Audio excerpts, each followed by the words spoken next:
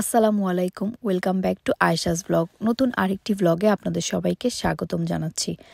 আজকে আমি আপনাদের সাথে আমার বাংলাদেশের শেষ দিনের ব্লগটি শেয়ার করব। আমি যেদিন বাংলাদেশ থেকে আমেরিকা চলে এসেছিলাম, সেদিন সকাল থেকেই অনেক মেঘলা আকাশ ছিল। এরপরে ঝুম বৃষ্টি শুরু হয়েছিল। মনে হয়েছিল আকাশও আমার জন্য মন খারাপ করেছিল এবং আমার চোখের পানি বৃষ্টি হয়ে মাটিতে পড়ছিল। আমার মন খারাপ ভাবটা কমানোর জন্য এবং শেষবারের মতো বাংলাদেশে বৃষ্টি উপভোগ করার জন্য আমি সোজা চলে গেলাম আমার শ্বশুরবাড়ির ছাদে। আমার শ্বশুরবাড়ির ছাদে বিভিন্ন ধরনের ফল, ফুল গাছ থেকে শুরু করে আরও অনেক ধরনের গাছই ছিল। এই বারো মাসে আম গাছটা দেখতে এত কিউট লাগছিল, আমি ধরে ধরে আমগুলো দেখছিলাম। এছাড়াও ছাদে আরও বিভিন্ন ধরনের গাছ ছিল। ছাদে একাকি ভালো কিছু সময় কাটিয়ে আমি বাসায় চলে গেলাম। এরপরে শেষবারের মতো আমি আরও কিছু কেনাকাটা করার জন্য আমাদের এক আন্টিকে সাথে নিয়ে চলে গিয়েছিলাম পুরান ঢাকার বাংলা বাজারে। পুরান ঢাকার বাংলা বাজারে তামা কাঁসা, পিতলের এত সুন্দর সুন্দর জিনিস ছিল, আমার কখনোই জানা ছিল না। আমি আমার যে প্রতিবেশী আন্টির সাথে এই দোকানে এসেছিলাম, আন্টি তার বাসার সব প্রয়োজনীয় জিনিসপত্র থেকে শুরু করে পূজার জিনিসপত্র এই দোকান থেকেই কিনে থাকে। এই দোকানে আসার পরে তামা পিতলের এত সুন্দর সুন্দর কালেকশন দেখে আমার পুরো মাথায় ঘুরিয়ে গিয়েছিল। আমার জানা ছিল না যে এত সুন্দর সুন্দর ভ্যারাইটিস জিনিসপত্র এখানে পাওয়া যায়।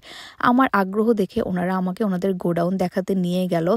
এখানেও দেখলাম যে তামা কাঁসা পিতলের স্বর্গরাজ্য। এত কালেকশন একসাথে আমি আগে শুধুমাত্র ভিডিওই দেখতাম। আজকে সব কিছু এত সুন্দর করে বাস্তবভাবে দেখছিলাম, আমার খুব ভালো লাগছিল এই জিনিসগুলো দেখে। এই দোকানের যিনি মালিক, তারা অনেক বছর ধরেই এই তামা পিতলের জিনিসপত্রই বিক্রি করে এবং খুব অথেন্টিক এবং কোয়ালিটিফুল জিনিসপত্র বিক্রি করে। আমার অনেকগুলো আইটেম পছন্দ হয়েছিল এবং আমি নিয়ে নিলাম।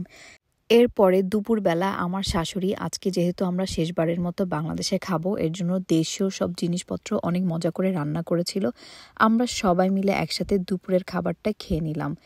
ছাদ থেকে আনা আমার নিজের হাতে পাড়া এই পেয়ারাটাও আমি আর আমার হাজব্যান্ড মিলে মজা করে খেয়ে নিলাম। এরপরে সারাদিনে আমি আর কোনো ভিডিও করিনি, কারণ আমার মনটা ভীষণ খারাপ ছিল। আমার বাসার মানুষ থেকে শুরু করে আমার শ্বশুরবাড়ির সবাই আমাদের সাথে দেখা করার জন্য আজকে বাসায় এসেছিল। সবার সাথে দেখা করে সবাইকে বিদায় জানিয়ে আমরা এয়ারপোর্টে পৌঁছে গেলাম। আমাদের ফ্লাইট ছিল রাত একটা বাজে, আমরা এয়ারপোর্টের সব ফর্মালিটিসগুলো শেষ করে ভিতরে ঢুকে পড়লাম। ইমিগ্রেশন পার করে আমরা প্লেনে ওঠার জন্য এখানে বসে পড়লাম।